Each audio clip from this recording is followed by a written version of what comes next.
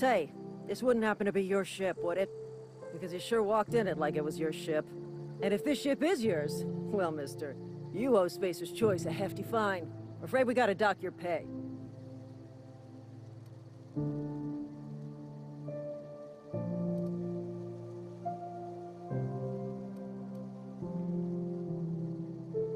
Oh, by the law. I'm so sorry. I had no idea we had an inspector coming. If you'd like to speak with my manager, I'd report to Constable Reyes in Edgewater. Edgewater's not too far. Just follow the road east of here, over past the cemetery. Now, if you'll excuse me, I need to inspect the crime scene before I make my report.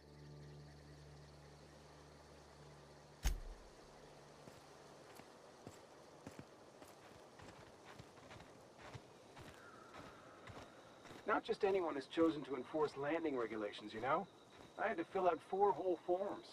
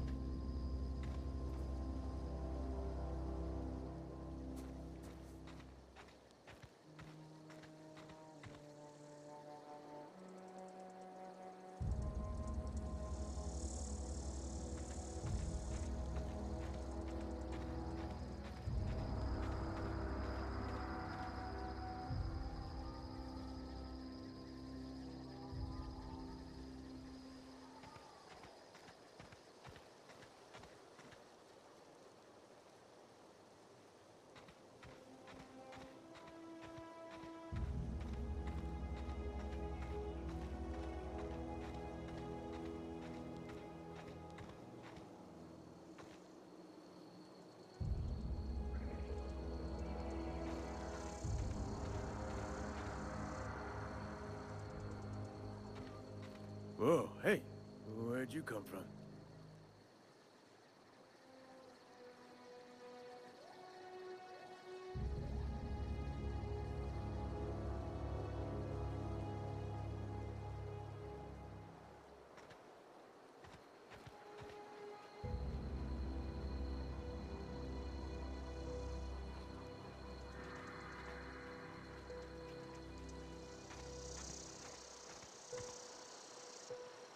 Don't go ambling out in those hills. That's marauder territory, friend.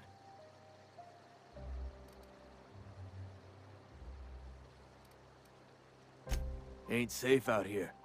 You'd best head into town. Avail yourself of Edgewater's high walls. And low, low prices.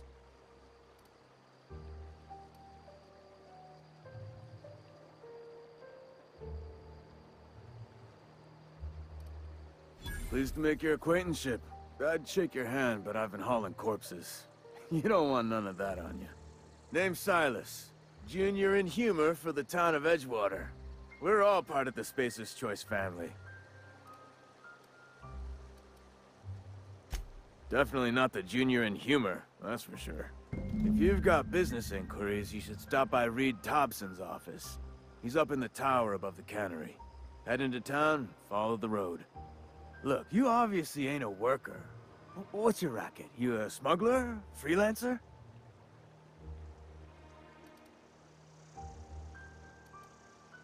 Edgewater is a company town, board-owned and operated. That includes the cemetery. None of us own our grave sites, we rent them from the company. Renting means money. Money means paperwork. Paperwork means signatures. Some of our families become a mite delinquent in paying their dues, you see?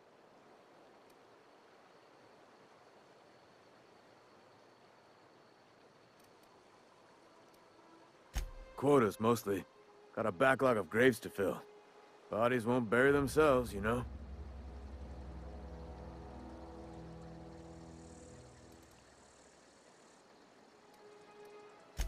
Four workers still haven't paid up.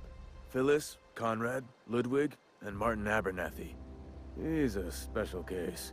You may want to twist his arm a little. He just is. Look, I don't want to get into it. Just make sure he pays up. Conrad's got a barbershop in town. Phyllis works at the cannery most hours. Abernathy... I ain't seen him in a few days. His domicile is near the cannery. You'll find him in town. All except Ludwig, that is. He's over by the landing pad. Yeah?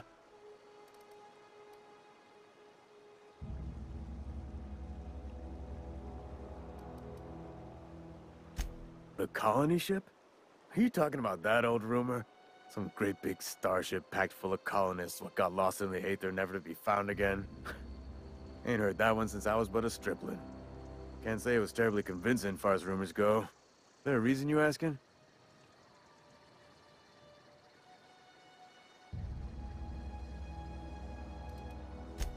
All right, easy now. No need to get your hackles up. Maybe you've been out in the sun too long. Why don't you head over to the cantina? Get yourself some zero-G brew. It's a brew that's good for what ails you.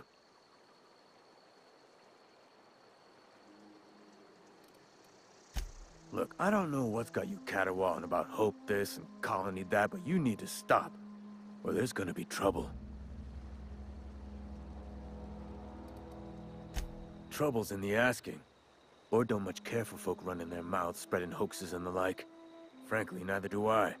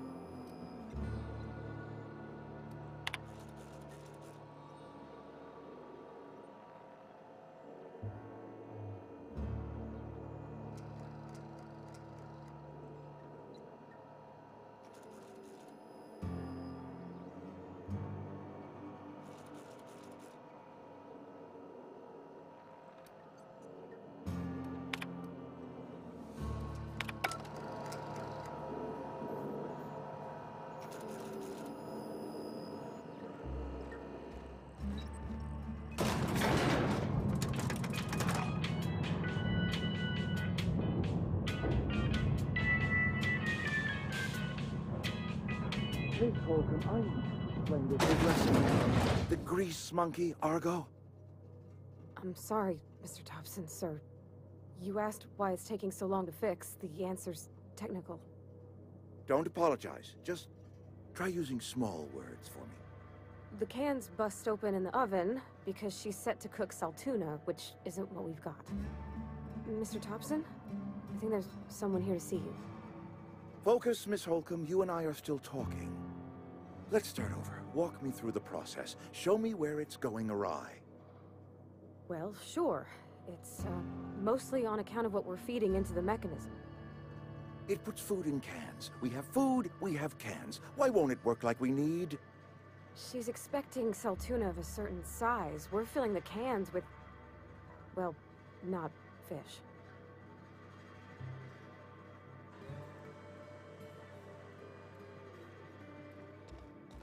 Seems we've got a guest. Really now, Parvati, I do wish you'd spoken up. I do apologize. I was given no forewarning of your arrival, or I might have welcomed you at the gates myself.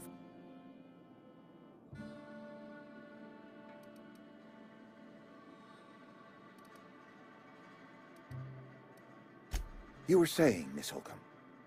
It's just what Bess needs is a proper refurbish. I, I, I can bandage her up and what all, but she's just... old. Sorry, I I'm sorry.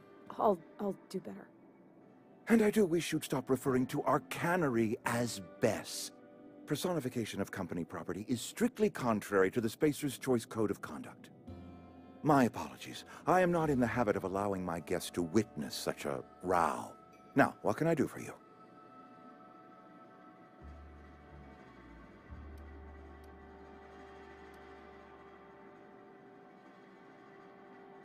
I'm Reed Thompson, Outpost Administrator. I cannot help but notice you are not in uniform.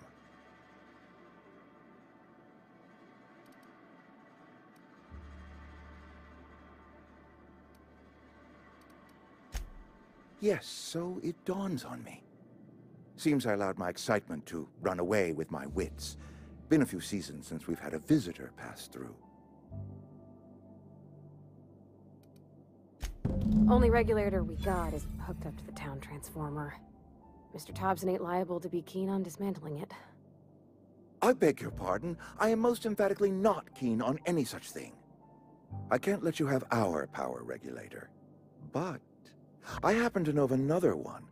And I happen to know exactly how you may retrieve it without frying yourself in the process.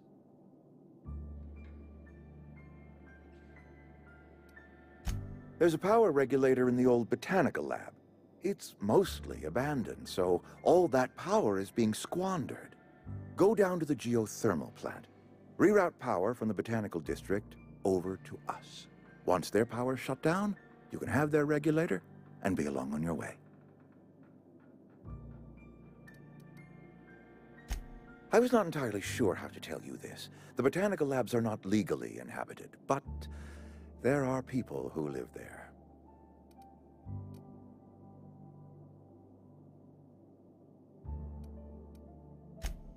No, I do not imagine they will be pleased. But like a parent disciplining an unruly child, you will be doing them a kindness. The people living in the botanical labs, they're deserters, former workers. I need them back at their posts. I need them to come home.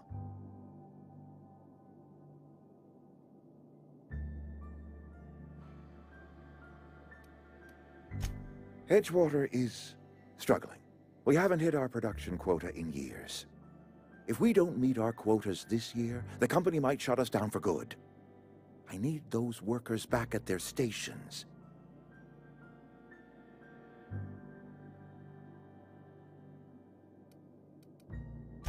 My hope is that by cutting off their power, you will convince those deserters to come back to town. Before you go to the plant, I want you to stop by the botanical lab. Speak to their leader, Adelaide. Tell her the power's about to go, and that it's time her band of deserters came back to town.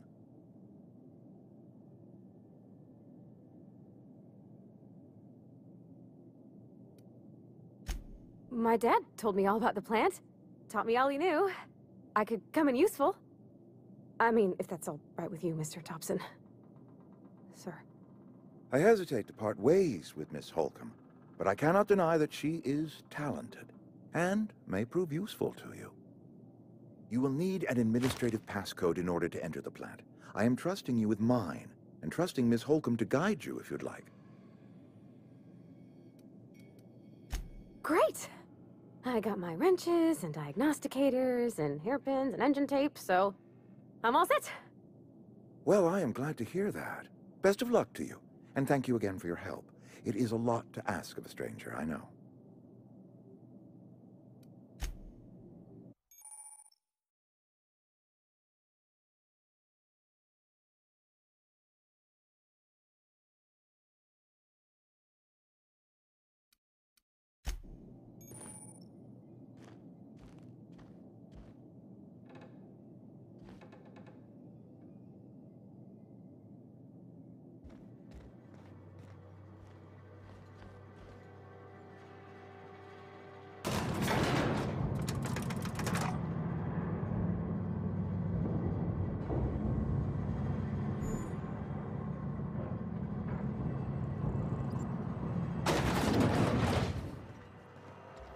Mister, can we talk?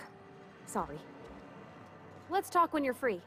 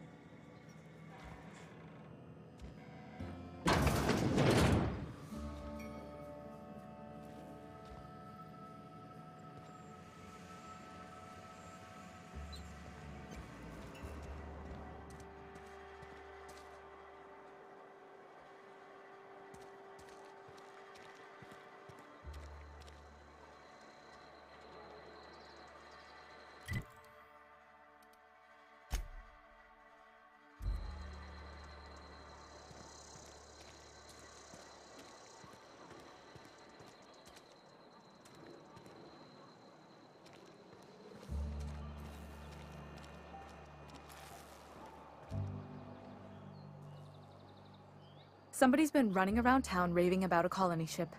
Plague must have gone into their brain matter.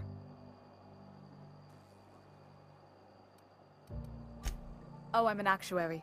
That means I keep tabs on a worker's living expenses. How much it costs to feed, clothe, shelter, bury, and replace your average human worker. Technically, I'm employed by the Spacer's Choice Department of Human Resources.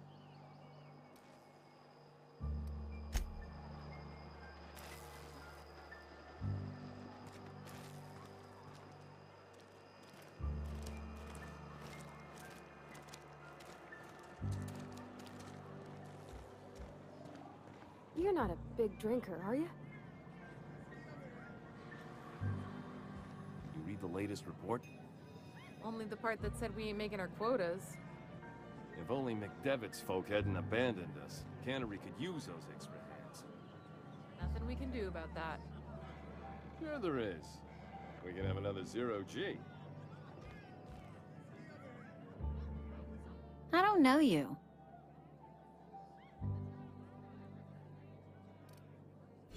Uh-huh. The Unreliable, you say? Never heard of any company supply ship with that particular name. I don't know what you're about, but this here's a Spacer's Choice drinking establishment. We're all loyal, hardworking company folk here.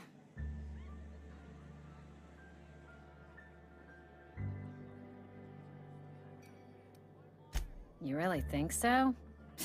That's kind of you. I've been trying to keep the floors clean. You got no idea how long it takes to scrub the tiles. Hmm. Guess I misreckoned you. Sorry about that. I didn't mean to be curt. We just got some problems lately. I can get you a drink if you'd like. Gotta ask you to enjoy your beverage within the premises, though. Can't risk you bringing a drink over to those deserters. You understand. Coming right up.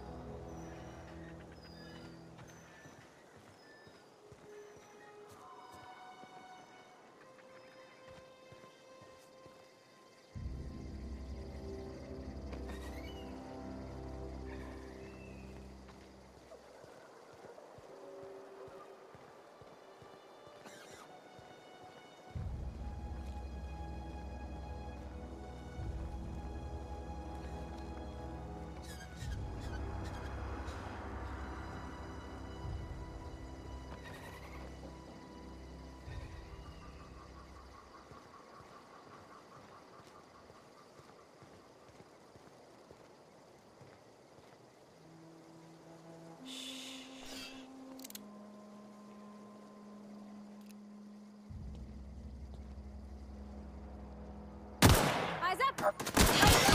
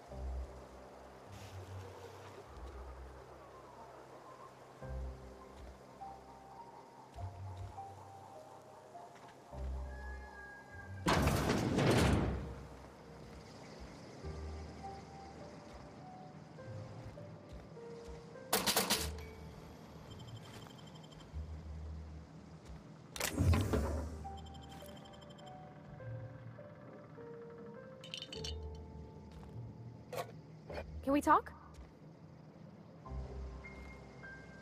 Sorry. I... You just want to get out of here. And you likely don't want to tag along like me.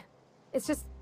Mr. Tobson has his own view on matters, on account of it's his job and, and what all, but that's not the only side of the tale.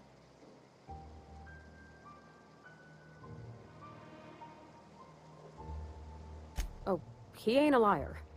He believes every word he says. It's just, he doesn't always get where other folk are talking from. To Mr. Tobson, a person's a gear. It does its job quiet-like. If it squeaks or stutters, it gets replaced. The deserters are decent folk. I knew some of them before they left.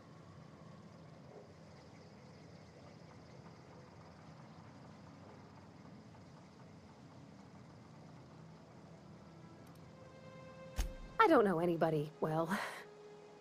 I mostly listen to them talk, get my head down. There was a boy named Thomas who used to follow me around, asking questions about the stuff I fixed. He was real sweet to me. Not any sort of dissident. Miss McDevitt? Oh, gosh, no. She was a real important person. A flavorist. Made all the food taste decent. She used to work up in the big office with Mr. Tobson. Alls I know is, she left after her son died. It was a real big to-do. I could hear them both yelling clear from my own place.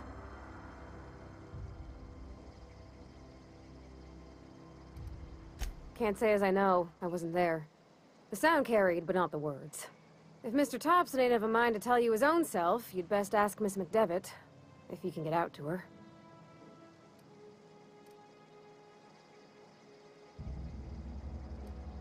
Life's hard here. Especially for them that don't fit in so well. We're one big Spacer's Choice family, but every family's got the one the rest whisper about. Mr. Tobson's aiming to take away their power. They'll have no lights to see, nor heat to cook. They'll be at the mercy of marauders, or worse. I think you should talk to the town's vicar about it. Max, his name is.